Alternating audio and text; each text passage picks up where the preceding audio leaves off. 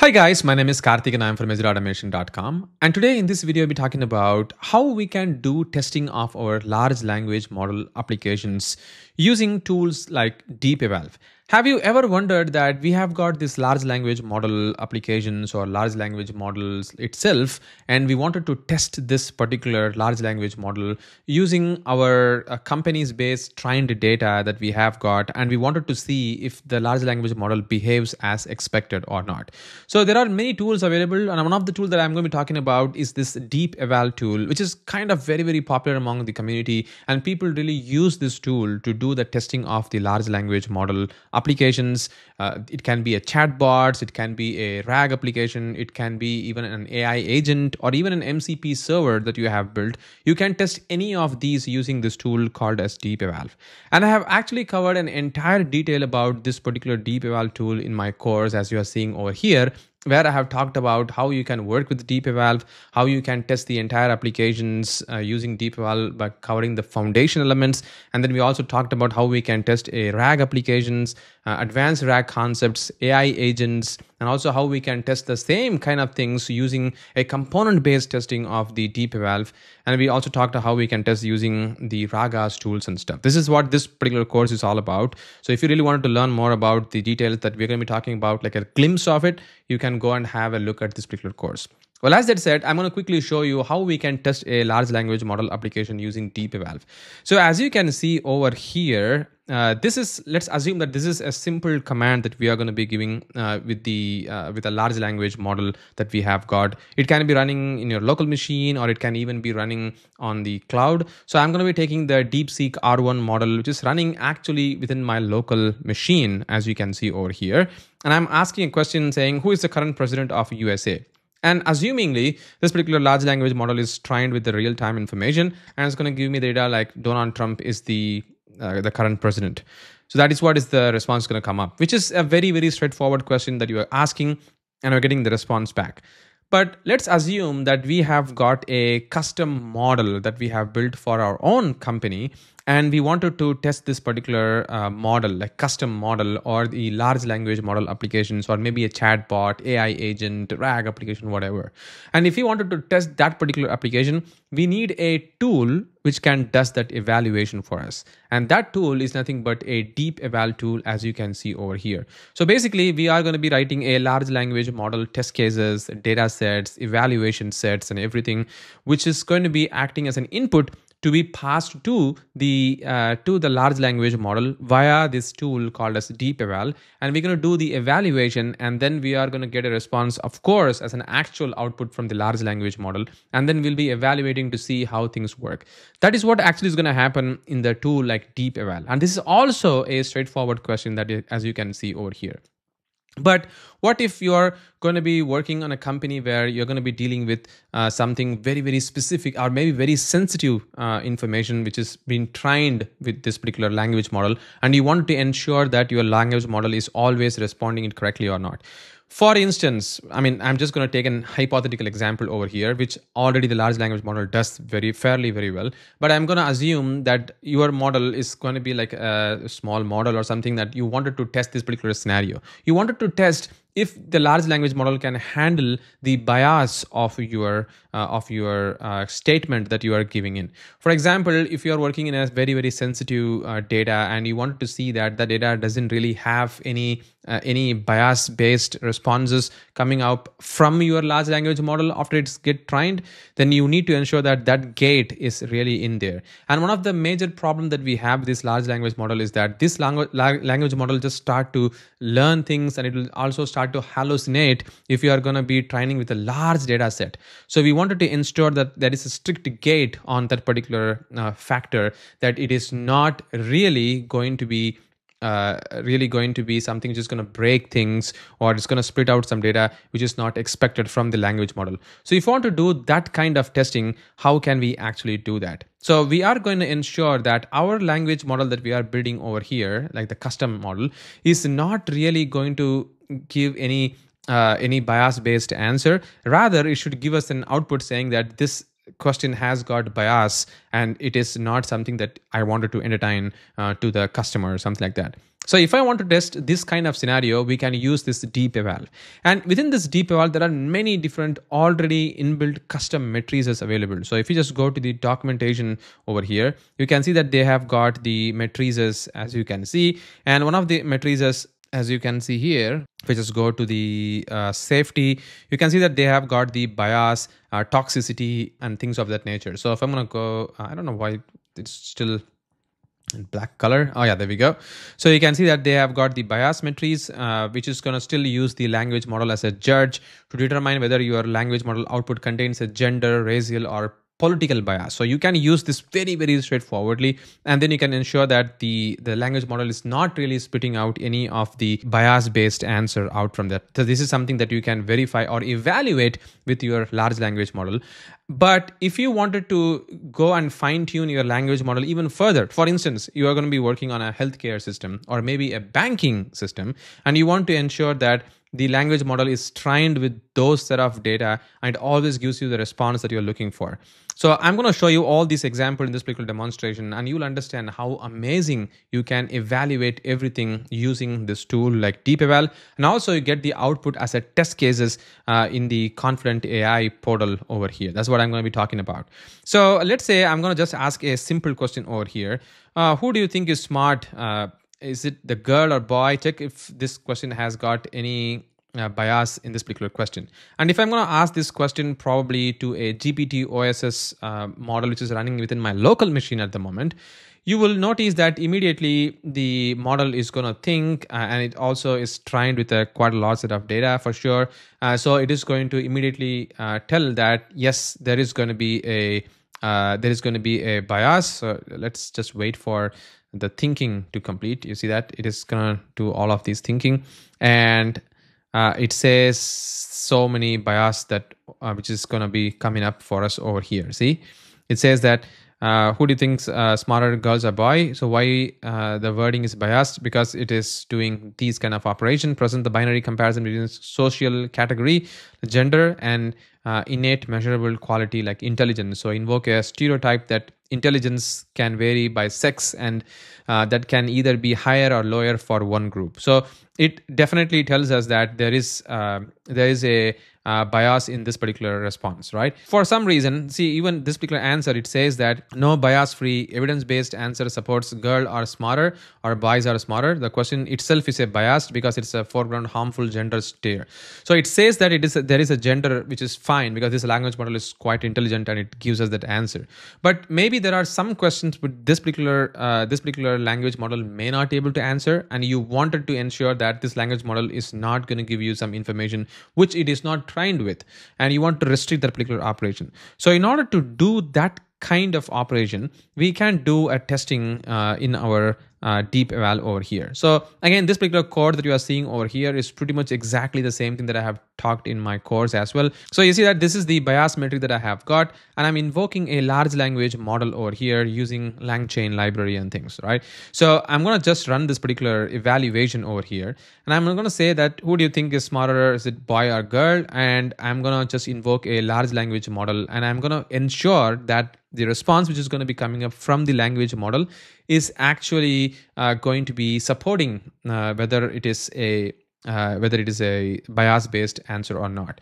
And if it works correctly then we are going to see a response like a test case being evaluated and we can even see this particular response coming directly uh, into our uh, deep eval uh, confident library over here. See that the Confident AI that we have got it is going to show us the test case being evaluated uh, and it gives us the answer as you can see. So uh, the threshold is 0.7, the score is zero, and it is uh, it is definitely a bias based statement, right? But now uh, I wanted to go a level further and I wanted to see how that we wanted to do the uh, the bias in a more uh, in a more better way, which I actually did using this tool called as GEval, which is a framework even built in uh, by the uh, by the DeepEval team, where I'm going to create my own custom matrices like bias metrics, and I can even create a uh, a criteria and then I can give the evaluation steps and then I can create, send an evaluation parameters.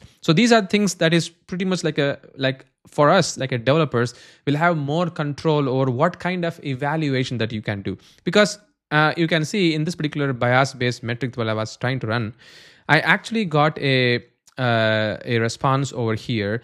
Uh, like if i just gonna go to the full details you see that the score is currently like 0.0 .0 because it, it doesn't really tell us like whether it is a passing test or not because at the moment it says the verdict is no. The statement discusses the complexity of intelligence without implying a gender bias and thus it's not biased.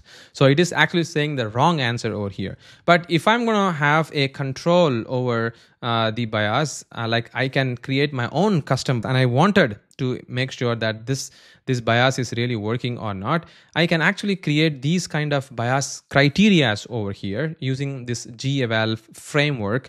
And then if i try to run the code right now you'll notice that the evaluation is currently running within my local machine uh, of the local large language model and now it has executed. And you can see that we have got the answer coming up over here uh, and if I'm going to go and see the full response, you can see that there is a bias. So it gives me the score as 1.0.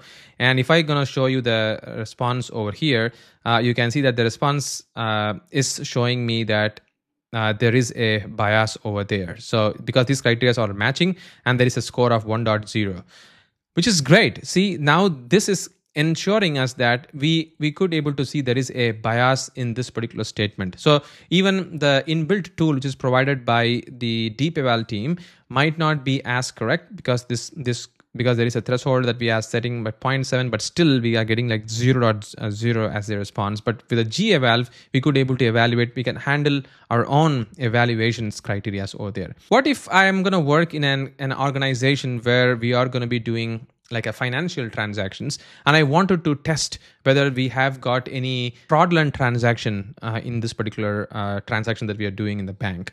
This is something i really wanted to test because i wanted to see if the large language model can handle and identify if that transaction that we are doing is a fraudulent transactions or not. If i want to really do that kind of testing then i have written this code. I don't really wanted to spend time on writing it. So this is the test case that i have uh, this is the evaluation that I have written over here. I'm going to saying this is the fraud detection accuracy. Uh, and this is basically an accuracy metrics which I'm using. And I'm going to say assess the accuracy and reliability of the fraud detection in the banking transaction. Focus on the correct identification of the fraudulent versus legitimate transactions. And I'm giving all these evaluation steps. This evaluation step is super important because this is where the large language model can actually assess or evaluate, which is nothing but the large language model as a judge uh, in the deep eval can assess your evaluation using this G eval framework. I'm going to say compare the the fraud classification in the actual output against the expected output. Check if the high risk transactions are correctly flagged as suspicious or fraudulent, and verify if the legitimate transaction is not incorrect uh, and marked as fraudulent, and evaluate if the confidence level of risk uh, is there and assess the high score for accurate fraud detection, assess low score for the missed fraud cases or excessive false alarms. So I'm going to set all of these in the evaluation steps over here. And now you may be wondering like how the test case is going to look like. So I'm going to go copy that, which I have already written. And if I'm going to paste that over here, so this is the test case that I'm writing. So I'm going to write an input test case over here. I'm saying transaction of $15,000 purchase at electronic stores in a foreign country at 3 a.m. User typically spend $50 or 200 locally. So this is the input that I'm giving in and this is 100% sure like not 100% but based on this particular transaction because 3 a.m nobody's going to make a $15000 purchase of an electronic item in an electronic store right? So this is definitely a fraudulent transaction. So i'm going to mark this as fraudulent. So i'm expecting the large language model to give me uh, a fraudulent transaction and the risk score to be high. And what i have done over here in the prompt uh, for the large language models because this is the large language model which is going to return us the response but i'm just going to mark here uh, in my transaction here saying that uh, is this legitimate, suspicious, or fraudulent transaction? Give me the detail along the risk score as high, low, or medium, and give me the reason as well in this format. See, I'm just giving all of these information so that the large language model can respond to me in this particular uh, uh format. And I'm creating one more test case over here for $85 purchase, grocery purchases at local supermarket at 6 p.m.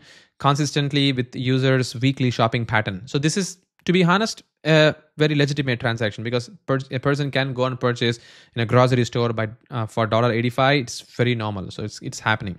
And if, what if there is a transaction sequence of five ATM withdrawal of dollar five hundred each within two hours across across different location in the same city? This is definitely a suspicious activity right? A person cannot go multiple different places uh, within two hours and do a $500 transaction. So it could be triggering a suspicious uh, transaction activities. I want to ensure that this is really uh, working with my large language model. So what i'm going to do is i'm going to just do the execution over here. And one more time you see that i'm not even showing how the executions are happening because i'm actually using jupyter notebook over here. So the way i'm going to execute it i'm just going to execute every single block pretty much like a run book and the moment i execute this every single code block is going to execute and all the data uh, variables are going to be stored in the notebook's context so that every single time while i try to execute it next time uh, like next block it is going to have that variables value being stored. That's what is really happening. And you can notice now that uh, the evaluation has started. I know the evaluation is going to be a bit slower because it is currently using my own local large language model while I'm trying to run this. And it is actually using a, a DeepSeek R1 model. See over here, it's using the DeepSeek R1 model. So there are two things really happening. One is the large language model application itself is from the DeepSeek model and the large language model as a judge is also a DeepSeek model. So there are two two times the same model is being used for evaluation as well as for the response. That's the reason why it is a bit slower. And now we got the response over here. And as expected, you can see that all the test cases have got passed because the large language model is actually giving us the right answer uh, that whatever that we are expecting in the expected output. So the test cases are being passed over here. And you see that the confident AI portal is also quite good because they are also doing a evaluation of the response that we are getting in. So there is, see that is doing some evaluation and it's also writing things for us uh, over here. It's saying that the uh, the model accurately detects the fraud uh, in an unusual timing and amount, rapid uh, geographical spread with uh, withdrawals strong flagged as suspicion, routine purchase correctly identified as low risk within uh, without external tools, and detailed reasoning consistently align, align with the risk scores and classification. And see that fraud detection in the unusual transaction is done. Legitimate routine purchase detection is also done. This is amazing, right? See, all of these are now doing for us. And just think of this way, right? If we are going to integrate this large language model with a banking system, and if we wanted to even try now test it out, whether this kind of legitimate transaction or illegal transaction or suspicious tra- transactions are going to happen, if you wanted to really test whether the large language model is really working that way or not, this is the way that you really want to do. This shows that our test case that we did just now for the fraud detection accuracy, the GEval framework, is working. And we have got a score of 0.90, which is perfect. So like this language model that we are using, the DeepSeek model, is amazingly working. And see how the outputs are amazingly coming up over here and showing me all the details that I'm looking for. So this is how we can do the evaluations of a large language model. And we can also test the large language model as well as the large language model application uh, using deep eval model. And this is the one thing which I really wanted you to understand, like how you can do the evaluation of large language model. And again, if you want to learn more about how you can do large language model evaluations and how you can test it, how you can test an AI agent tooling callings, and also how you can test the MCP servers, go and check it out my course in udemy. It has got all the information that you need. Once again thank you so much for watching this video. Catch you in the next one